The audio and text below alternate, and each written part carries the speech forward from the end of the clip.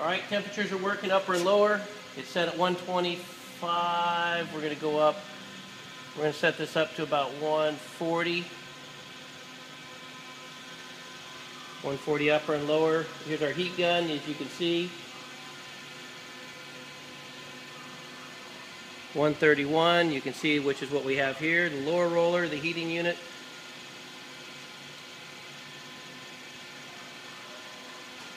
One forty-three. It's showing one forty-eight, so it's working. The uh, air pressure on the piston comes down. We can increase, decrease our pressure on the upper roller. Over here on the other side, our exit rollers here